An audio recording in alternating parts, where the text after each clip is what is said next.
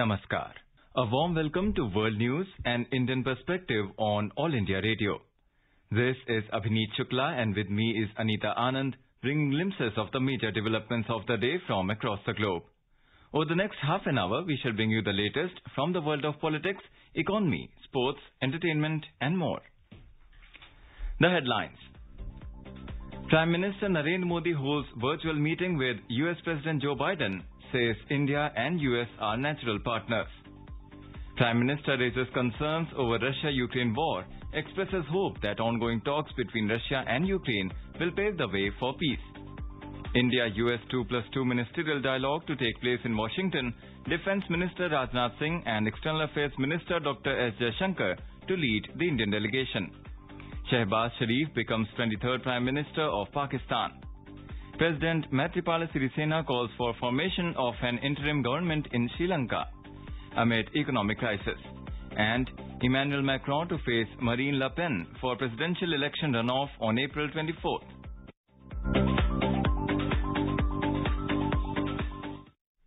Prime Minister Narendra Modi on Monday said that India and US are natural partners as they are two of the biggest democracies of the world. In a virtual interaction with US President Joe Biden this evening, Mr. Modi said the talks are being held at a time when situation in Ukraine remains worrisome. He said that till a few weeks ago, more than 20,000 Indians were stranded in Ukraine and most of them were young students. The Prime Minister also said that India placed importance on the safety of the civilian population in Ukraine and the uninterrupted supply of humanitarian aid to them, including medicines and relief materials.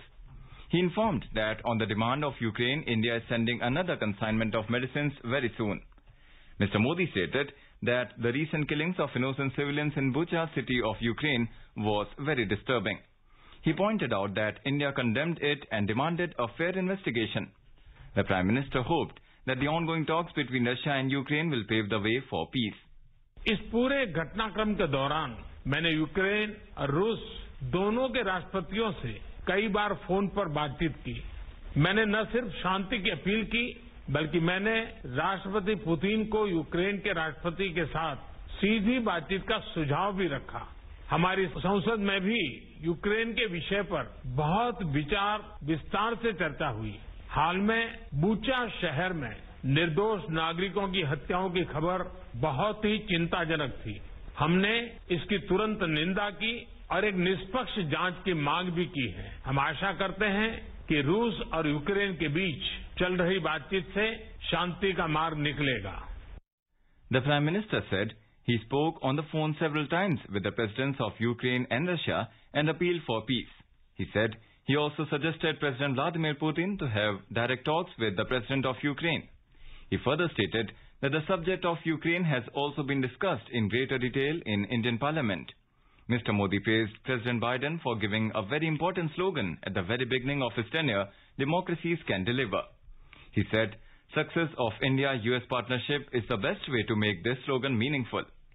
He said he agreed with US President Joe Biden that India-US partnership can contribute to the solution of many global problems. The Prime Minister said India is celebrating 75 years of independence and in the next 25 years, Indo-US relations will play an important role. He thanked President Biden for taking the initiative for this virtual interaction. पिछले साल सितंबर में जब मैं Washington आया था और जिसका आपने अभी ज़िक्र भी किया और तब आपने कहा था कि भारत अमेरिका पार्टनरशिप बहुत सी वैश्विक समस्याओं के समाधान में योगदान दे सकती है। मैं आपकी बात से पूर्णतया सहमत हूँ। विश्व के दो सबसे बड़े और पुराने लोकतंत्रों के रूप में हम नेचुरल पार्टनर्स हैं। और पिछले कुछ वर्षों में हमारे संबंधों में जो प्रगति हुई है, जो नया मोमेंटम बना है, आज से एक दशक पहले भी शायद ऐसी कल्पना करना मुश्किल था। आपने अपने कार्यकाल के शुरू में ही एक बहुत महत्वपूर्ण स्लोगन दिया था डेमोक्रेसी कैन डिलीवर। भारत और अमेरिका की पार्टनरशिप की सफलता इस स्लोगन को सार्थक करने का सबसे उत्तम ज़रिया है। इस साल भारत अपनी स्वतंत्रता की पचहत्तरवां वर्षगांठ मना रहा है। और हम अपने डिप्लोमेटिक रिलेशंस की पचहत्तरवीं सालगिरह भी मना रहे हैं। मुझे विश्वास है कि भारत की अगले 25 सालों की विकास यात्रा में अमेरिका के साथ हमारी मित्रता एक अभिन्न अंग रहेगी। In his opening remarks US president Joe Biden said India and US are two vibrant democracies which share a strong and growing major defence partnership He said continued consultation and dialogue are key to ensure that India-US partnership continues to grow stronger. We share a strong and growing major defense partnership. At the root of our partnership is a deep connection between our people, ties of family, of friendship, and of shared values. On that note, I want to welcome uh, India's humanitarian support for the people of Ukraine who are suffering a horrific assault, including a tragic shelling in a train station last week that killed dozens of innocent children and women and uh, civilians attempting to flee the violence. The United States and India are going to continue our close consultation on how to manage the destabilizing effects of this Russian war. And I'm looking forward to our discussions today, Mr. Prime Minister. Our continued consultation and dialogue are key to ensuring the U.S.-Indian relationship continues to grow deeper and stronger the fourth India-US 2 plus 2 ministerial dialogue will get underway in Washington later tonight. Defense Minister Rajnath Singh and External Affairs Minister Dr. S. Jaishankar will lead the Indian delegation. The US delegation will be led by Secretary of State Antony Blinken and Secretary of Defense Lloyd Austin. The dialogue would enable both the sides to undertake a comprehensive review of cross-cutting issues in the India-US bilateral agenda related to foreign policy, defense and security with the objective of providing strategic guidance and vision for further consolidating the relationship. The 2 plus 2 dialogue mechanism will also provide an opportunity to exchange views about important regional and global developments. Ahead of the 2 plus 2 dialogue, Defense Minister Rajnath Singh held a bilateral meeting with his U.S. counterpart Lloyd Austin in Washington, D.C. Secretary East in the Ministry of External Affairs Saurabh Kumar held bilateral talks with his Cambodian counterpart Koy Kumong at Phnom Penh in Cambodia on Monday. They reviewed progress in bilateral issues and exchanged views on regional and multilateral issues of mutual concern. The Secretary East reaffirmed India's support for Cambodia's successful chairmanship of ASEAN in 2022. He appreciated the role played by Cambodia, including that by Deputy Prime Minister Prak Sokhonn as the Special Envoy of ASEAN Chair on Myanmar. Both sides had comprehensive discussions on bilateral cooperation in diverse areas including political, economic, commercial, trade and investments, defense and security, development partnership, connectivity, capacity building and cultural cooperation. They appreciated the close cooperation between India and Cambodia and agreed to further deepen the bilateral relations, particularly in areas such as defense and security, health, connectivity, capacity building, and development cooperation. The two sides also exchanged views on regional and international issues of mutual interest. A group of scientists from Indian Institute of Chemical Technology, IICT Hyderabad, have designed a hybrid material which can absorb greenhouse gas methane and convert it into clean hydrogen. They have simulated a process of capturing carbon dioxide and converted it to high purity hydrogen from non-fuel grade bioethanol. These scientists have also designed a facility that can test such materials and help further carbon capture research at the Institute. Ministry of Science and Technology in a statement today said that these new materials and processes for carbon capture and utilization could show new light for global warming challenge. In Pakistan, Shehbaz Sharif has become the 23rd Prime Minister of the country after taking oath. He was administered the oath by Senate Chairman Sadiq Sanjrani. Earlier on Monday, Parliament elected the opposition's joint candidate Sharif as the country's new Prime Minister. The Pakistan Muslim League Nawaz, PMLN, chief got 174 votes in the 342-member National Assembly. Before the voting process, the Pakistan Tehreek-e-Insaf lawmakers walked out of the National Assembly, shouting slogans against the opposition party's leadership and the US after their candidate Shah Mahmood Qureshi announced his decision to boycott the session. According to local media reports, the poll took place under the chairmanship of MNA Ayaz Sadiq two days after the lower house of parliament voted in favor of removing Imran Khan from the office, following a nearly 14-hour standoff between the opposition and Khan's ruling party that started on Saturday morning. Mr. Shehbaz had earlier contested for the Prime Ministership in 2018, as well as in which Imran had received 176 votes and he could bag only 96 votes at that time. He has served three times as Punjab's Chief Minister. Mr. Shehbaz is the younger brother of PMLN Supremo and thrice elected Prime Minister Nawaz Sharif. Prime Minister Narendra Modi has congratulated Muhammad Shehbaz Sharif on his election as the Prime Minister of Pakistan. Mr. Modi said, India desires peace and stability in a region free of terror so that we can focus on our development challenges and ensure the well-being and prosperity of our people.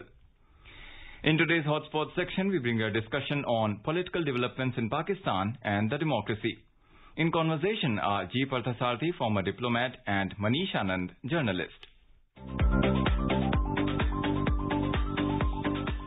Another spell of uh, political instability in Pakistan has taken place, and uh, once uh, the army's poster boy Imran Khan has been ousted from the power, and the Pakistan National Assembly session is currently underway to elect uh, the joint opposition nominee Shehbaz Sharif as the next prime minister.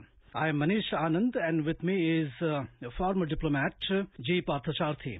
Ambassador Parthasarthi, it's a usual history of Pakistan repeating again that uh, no prime minister there ever could uh, complete its full term. How do you see the current development? Current developments were waiting to happen. Imran Khan had uh, sort of thought the being prime minister of Pakistan would be a permanent job. He earned the wrath of the army very early because of interfering with the promotions and postings in the military. Most important, he developed a close relationship with the previous head of the intelligence services there. That caused unease in the military, and the price had to be paid. This really was the beginning of his trouble.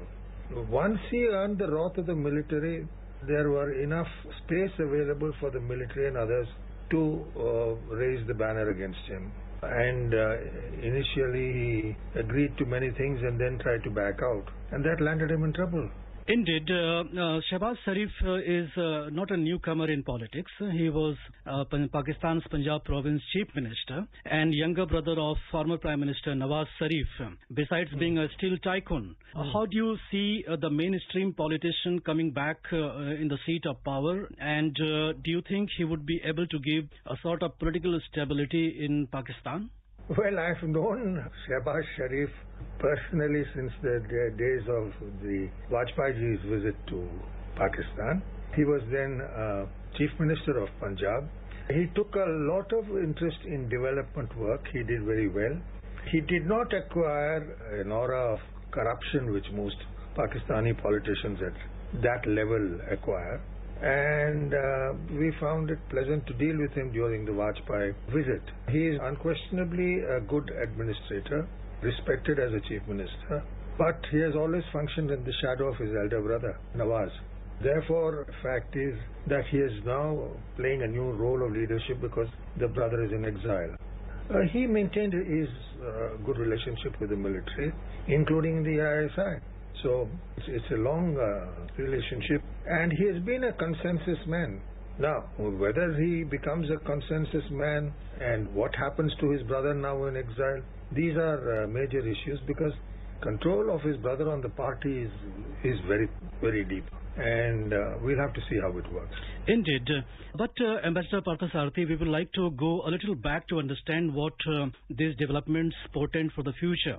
The Conference of Organization of Islamic Countries uh, took place in Islamabad.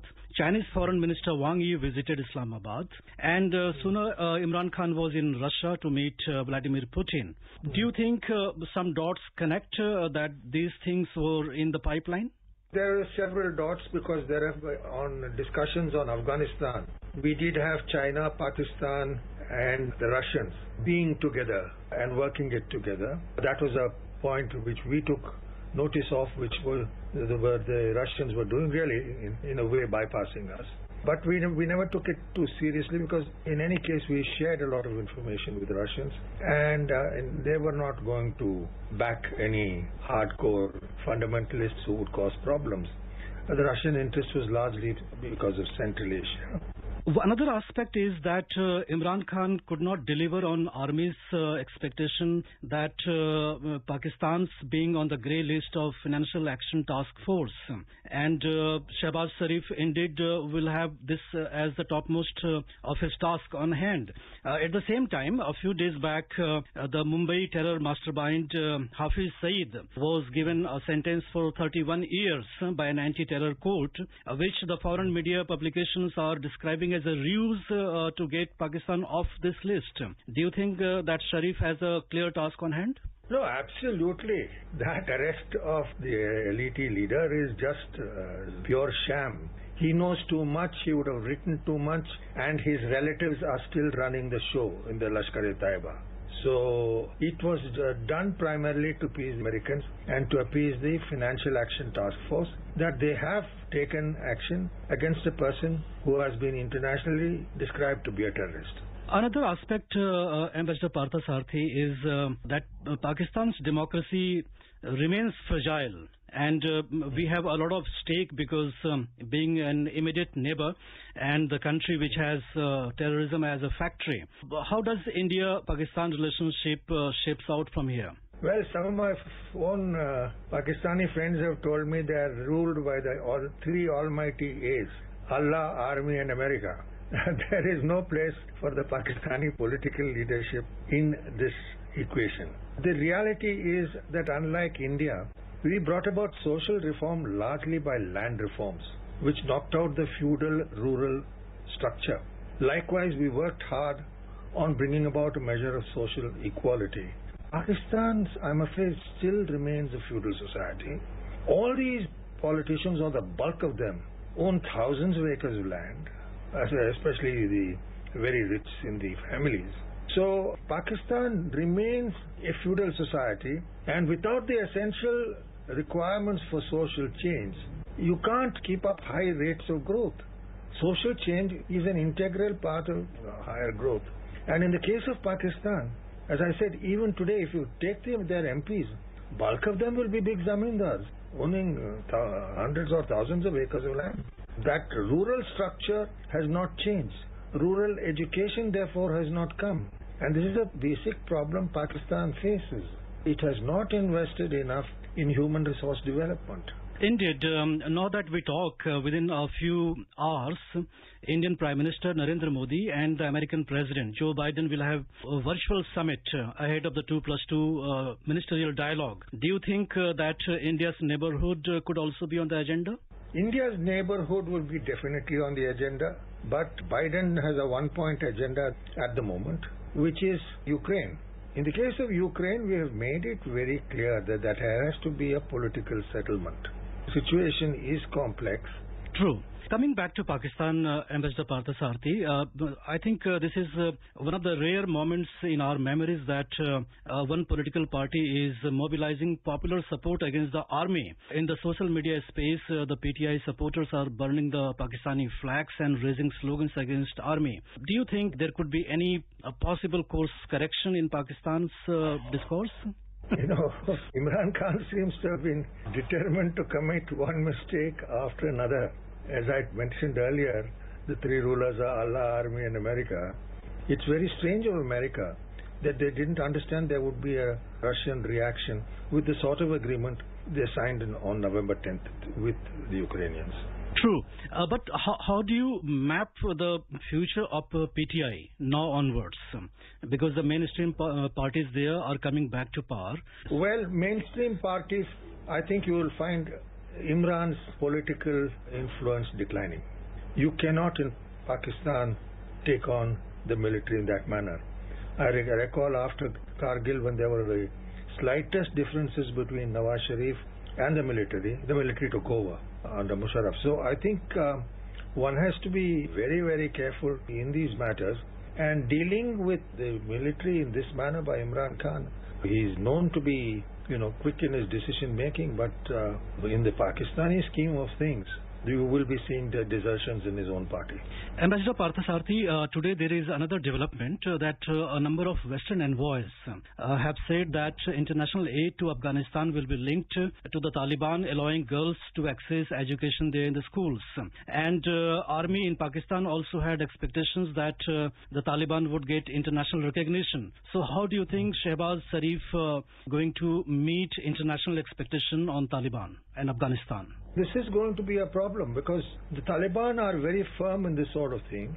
Uh, the Americans, uh, uh and I finally, uh, frankly, in the 21st century, sort of treating your 50, more than 50% of your population, your entire women folk, as second-class citizens, is to put it mildly deplorable. But that is the practice the uh, Taliban have followed. That is their version of Islam that they follow. It's a tribal society also. So uh, they are going to get squeezed very badly. And already there are problems between the Taliban and Pakistan on a number of issues, including the location of the border, the, the Durand line, the Taliban have never accepted. So uh, there are going to be complications between in, in the Pakistan-Taliban relationship, which will grow because, as I said, the Taliban are a law unto themselves, and I can't see, thanks to the Pakistanis, anybody now uh, replacing them in a hurry. They're well settled. But um, I do not see either the Russians or the Chinese or the Central Asians closing all relations with them. They will have to deal with whoever is there. And it's, it's going to be a much more complex situation. And Mr. Parthasarthi, you have analyzed uh, the political developments in Pakistan very deeply. Thank you so much. This is All India Radio giving you the world news. For quick news updates round the clock, follow us on Twitter at AIR News Alerts.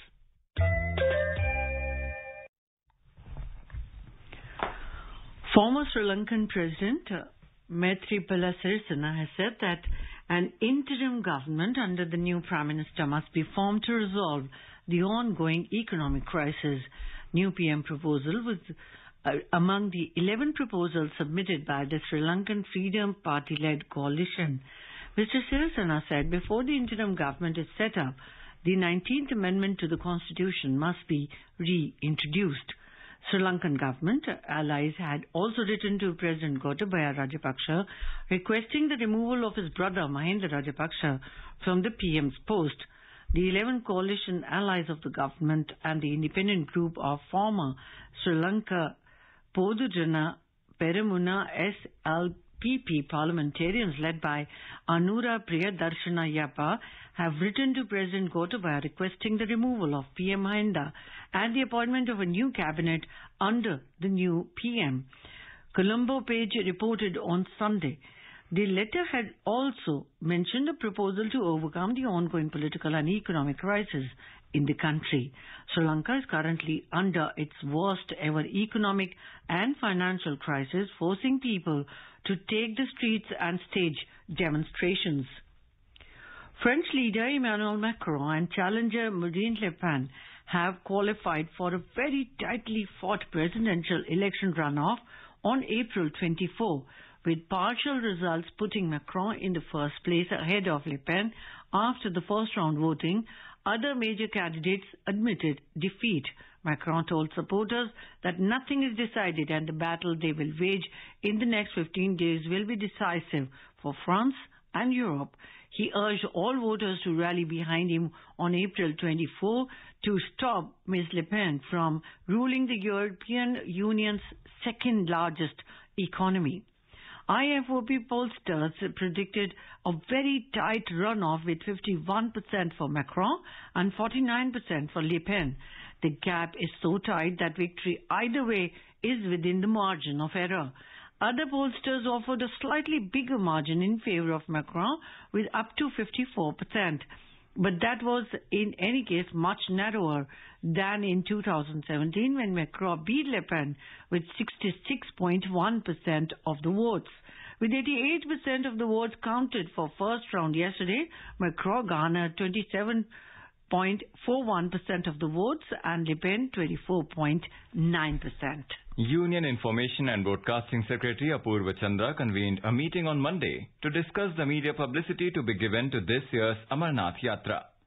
After the meeting, he said, a huge number of pilgrims expected to arrive for the yatra. Jammu and Kashmir Chief Secretary Arun Kumar Mehta, Principal Secretary Rohit Kansal, Sri Amarnathji Shrine Board CEO Nitishwar Kumar, and senior officials from the central government, including Joint Secretary, Ministry of Information and Broadcasting, Vikram Sahai, Principal Director General News, All India Radio, and Venudhar Reddy, Director General Doordarshan Mayank Agarwal, Additional Director General Press Information Bureau Srinagar, Rajendra Chaudhary, besides other senior officials, participated in the meeting. India successfully flight tested anti-tank guided missile Helina on Monday. The missile was launched from an indigenously developed helicopter at high altitude ranges.